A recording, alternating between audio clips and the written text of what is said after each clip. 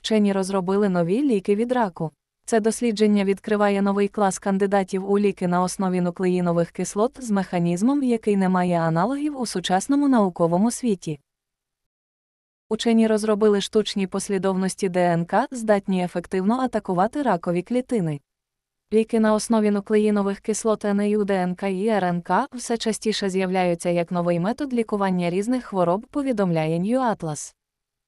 Розробка належить дослідникам з Токійського університету.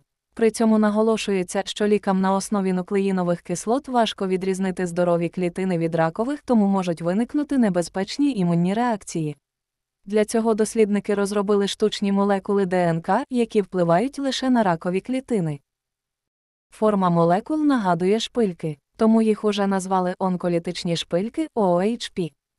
Ми хімічно синтезували ці молекули парами ДНК, які були спеціально створені для взаємодії з послідовністю МРНК, яка гіперекспресується у деяких типах ракових клітин.